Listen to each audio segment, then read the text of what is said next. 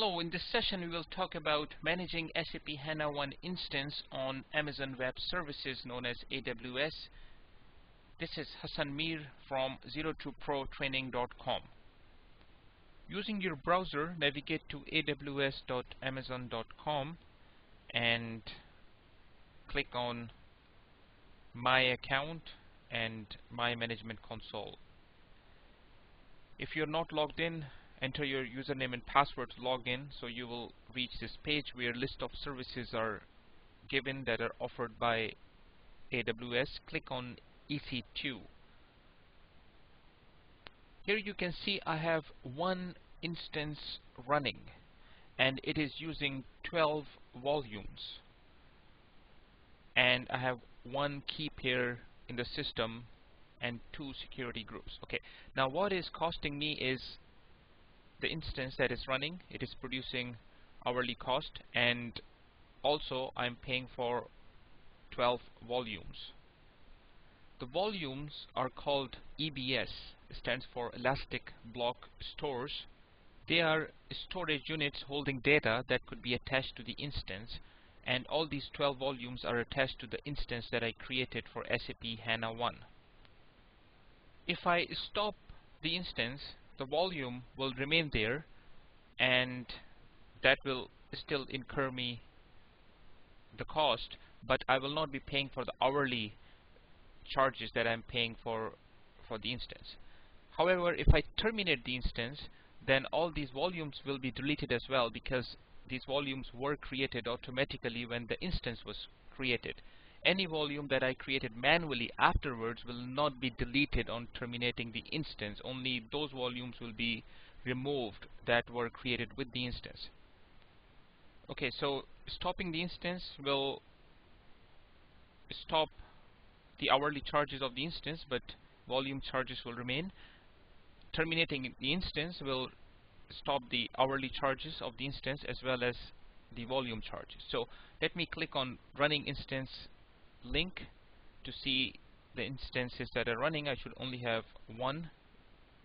So this is the instance that is up and running my SAP HANA One so I'm gonna select this and now the actions option is enabled. I can click on that. And under the actions section I see a few options. Terminate reboot stop and start is grayed out because the instance is already started. I'm going to choose stop are you sure you want to stop this instance? Yes.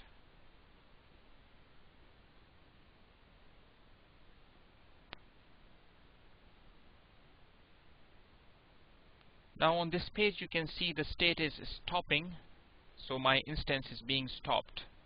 Keep in mind that anytime you bring the instance from start to stop stage does not incur any additional charges other than the hourly charge that you are paying but whenever you bring the instance from stop to start stage you will have to pay the full hour.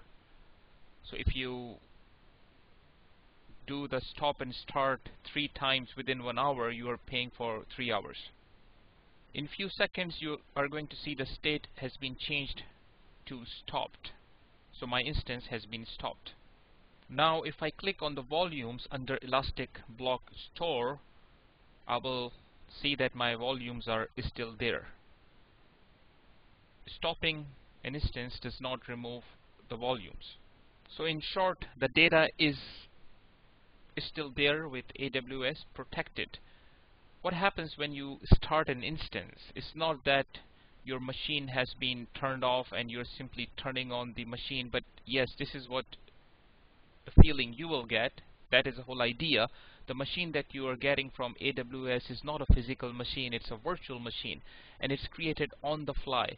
When you start the instance a new machine will be created on the fly a new virtual machine using the specs that you have requested and this data volumes will be attached to that machine and eventually you will see the data on the hard disk of that machine so the EBS volumes are holding data outside the machine. And when you terminate the instance, the machine is deleted as well as this data which is hold for you outside the machine is deleted as well. But when you stop the instance, the virtual machine is deleted. It is not suspended as such it's deleted and a new one will, is created when you start the instance. So keep that in mind but for you it should be as good as you have turned off the machine and you can turn it back on when you want to use the machine again.